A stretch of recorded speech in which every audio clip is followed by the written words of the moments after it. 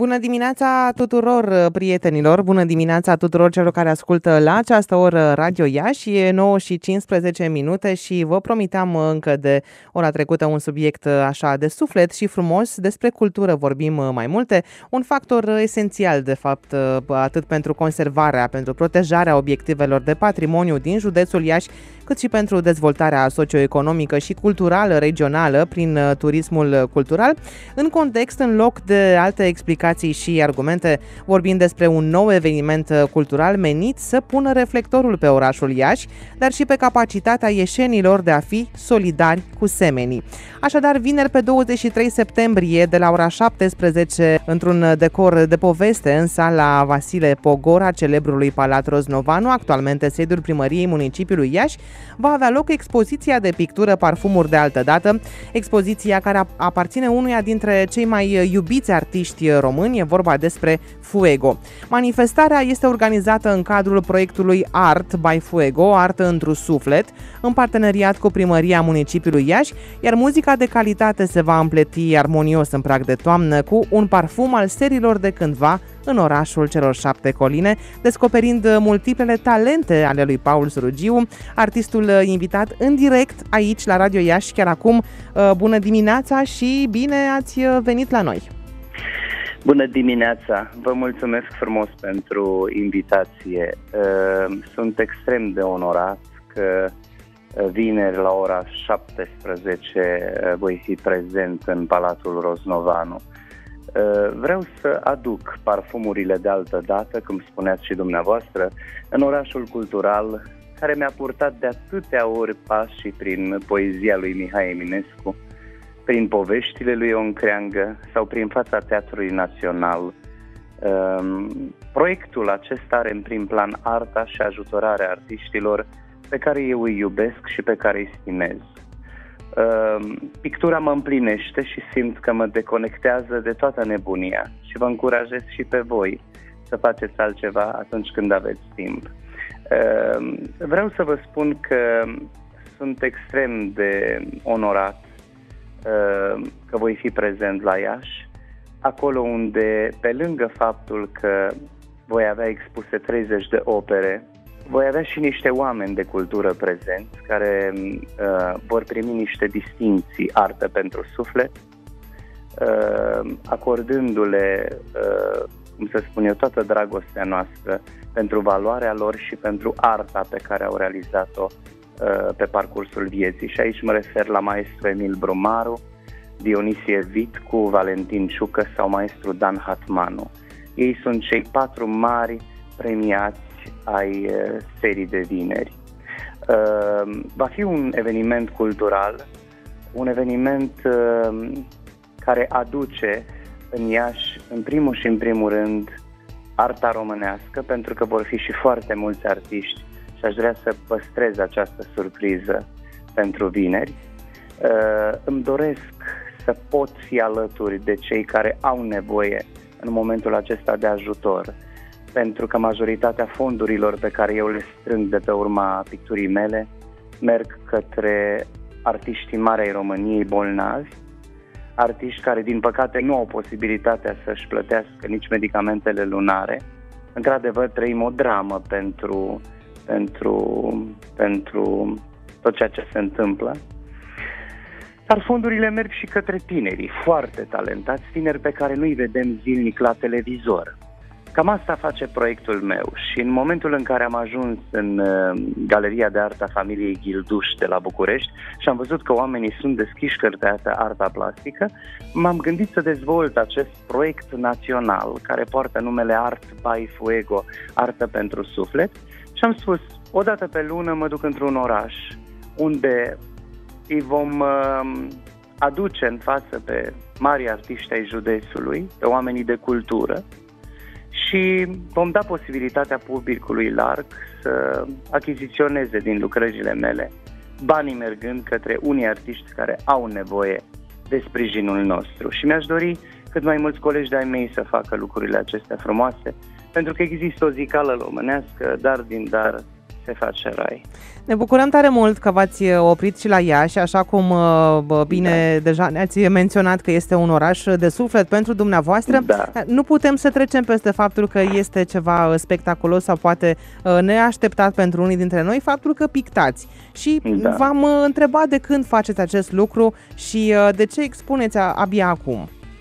De foarte mulți ani pictez. M-am îndrăgostit de artă în casa unor prieteni Eh, nu în România, la Ulm, în Germania, când îmi făceam vacanțele acolo cu familia mea. Eh, aș putea să spun că puțin moștenesc eh, talentul mamei mele, ea a făcut când era tânără artă decorativă. Eu pictez în acrilic, îmi este mult mai ușor.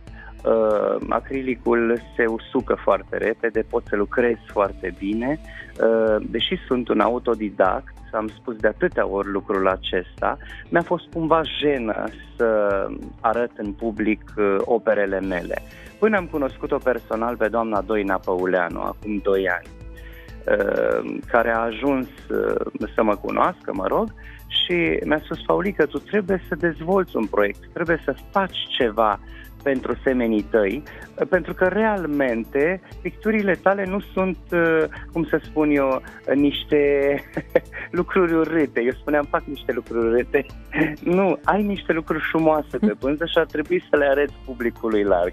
Așa s-a născut tot proiectul acesta. Probabil că aveam nevoie de un uh, expert, probabil aveam nevoie de un om care știe ce înseamnă arta plastică. Eu, fiind în permanență pe drumuri de peste 25 de ani, uh, cântând peste tot, făcând uh, atâtea lucruri frumoase pentru publicul meu, vă mărturisesc că nu am reușit să fac niște studii pentru, pentru arta plastică. Și atunci, desigur că nu mi-a fost ușor să, să dezvolt lucrul acesta.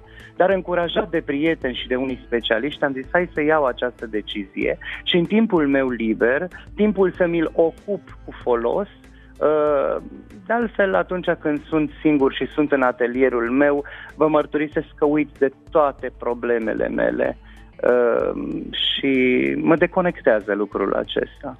În același timp, uh, mă gândesc că arta plastică este mai uh, ermetică în comparație cu, cu muzica. Ce, ce cale ați găsit să transmiteți mesajul acestei arte celor care se întâlnesc cu ea? Vreau să vă mărturisesc un lucru. Eu uh, pictez flori, așa cum le văd eu, uh, dar pictez și case mi-a fost foarte greu să, să, să realizez casele din diferite zone ale țării. Practic totul pornește de la Grigore Vieru și de la poemul pe care mi l-a dăruit Casa Părintească nu se vinde, nu se vinde pragul părintesc.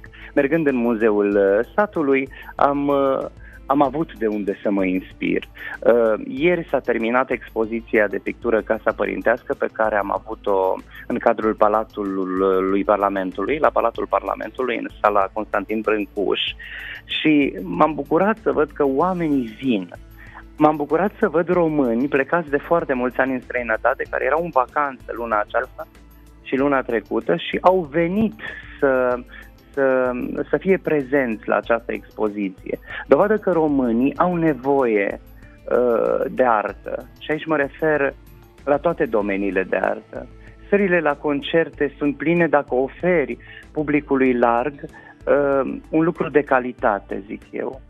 Uh, iar eu vreau să vă mai spun un lucru. Cu pictura aceasta eu pot naște lumi noi, culori noi și eu știu că la un moment dat una dintre micile mele creații va sta pe un perete și va fi admirată nu neapărat pentru frumusețea ei, ci pentru sinceritatea și pasiunea în, re- în realizarea ei.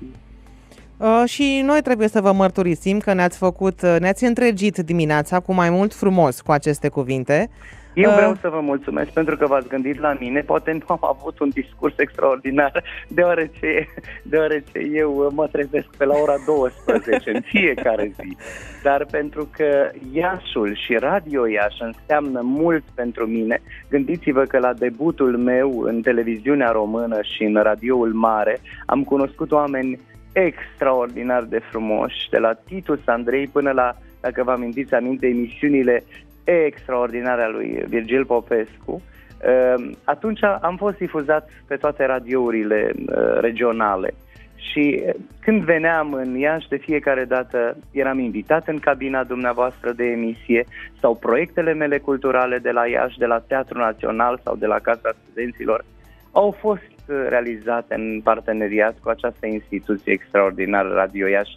Vă mulțumesc și de aceea vă spun, m-am trezit tocmai pentru că vreau să fiu alături de voi și de ascultătorii fideli de atâția ani ai postului dumneavoastră. O să profităm de prezența dumneavoastră și astăzi și în încheierea discuției da. noastre o să vă întrebăm uh, ce proiecte artistice mai aveți, ca să știm uh, păi... pe unde vă mai uh, vedem, auzim, ne da. încântăm cu dumneavoastră. Vreau să vă, să vă spun că înainte cu o zi, asta pentru că Radio Iași se ascultă și în județul Bacău, pe data de 22 septembrie la ora 19 voi avea o expoziție la centrul, centrul de afaceri și expoziții Bacău, acolo unde pentru două ore, începând cu ora 19, voi expune din lucrările mele, deci înainte cu o zi de Iași, și unde o vom premia pe una dintre cele mai mari campioane pe care le-a dăruit România, e vorba de Doina Melinte care, deși s-a născut la Botoșani, uh, a locuit o viață în Bacău. Uh, deci sunt două evenimente pe care le aștept cu drag, asta pentru că iubesc Moldova, asta pentru că tatăl meu s-a născut în județul Botoșan și peste tot unde mă duc eu mă mândresc că sunt jumătate moldovean, jumătate transilvanean din partea mamei și locuiesc la București. Desigur că după aceste două evenimente îmi pregătesc turneul național de Crăciun. Turneul anul acesta începe pe data de 6 decembrie și termină pe 24 decembrie. Vom ajunge și la Iași pe 17 decembrie la Casa Studenților, începând cu ora 19 și mm, titlul concertului de anul acesta eh, este unul special, Zăpezile de altă dată. Așa că vă aștept în sala de spectacol, alături de orchestra mea, să mm, aducem mai aproape această magie, Crăciunul, și dumneavoastră, ascultătorilor, vă doresc o toamnă frumoasă, bogată, să aveți recoltă bună și să, să ascultați și muzica mea. Mulțumim, cu, mulțumim foarte mult și cu mare drag am purtat, am purtat această discuție în, într-o dimineață de toamnă veritabilă, 21 da. septembrie. Da. Uh, Parfumuri de altă dată este genericul evenimentului organizat uh, la Iași. Vă așteptăm cu mare drag și mult succes în tot ceea ce faceți. Vă mulțumesc din suflet, sănătate tuturor. Numai bine. Și pentru că artistul uh, Fuego, Paul Surugiu, a menționat uh, despre zicale românești și despre emoțiile sufletului românesc, ce mișcă sufletul românului, casa părintească nu se vinde, nu-i așa? Bună dimineața!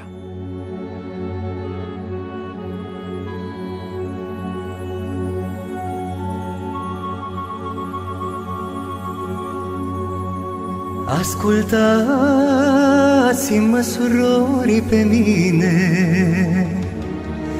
Și voi, frații mei, ce v-ați fădit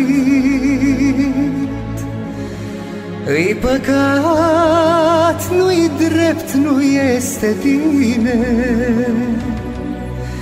Să vinzi casa care te-a încălzit.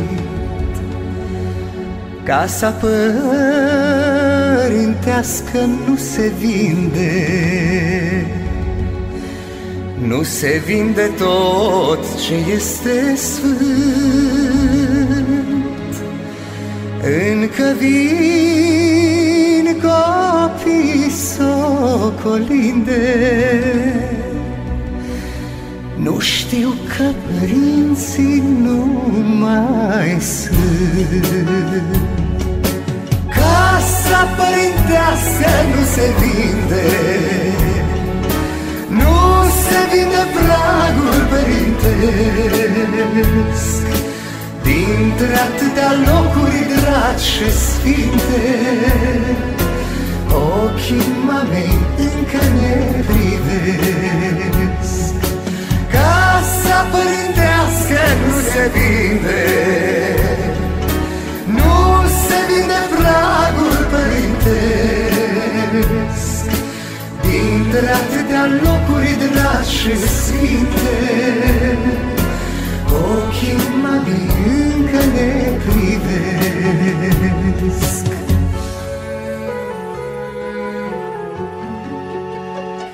Banii ne-ar trebui la fiecare toți avem copii și vremea e grea. Însă cum să vis fereastra oare? Cea la care mama n-aștepta o vom da și vom schimba lăcate Și vor pune și ferestre noi. Și trecând pe lângă ea vreodată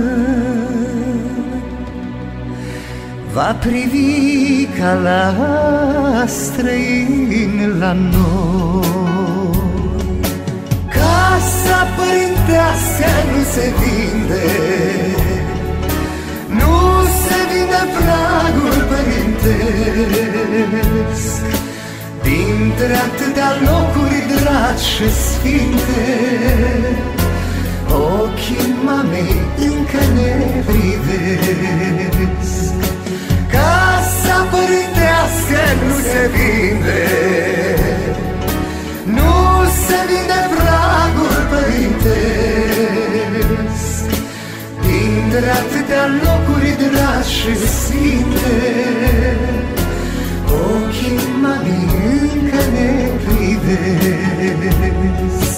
Vom pleca și noi cândva din viață Și părinții sus ne-ar întreba Ce mai face casa lor cea dragă? Cine are grijă astea Ce mai face casa lor cea dragă? Cine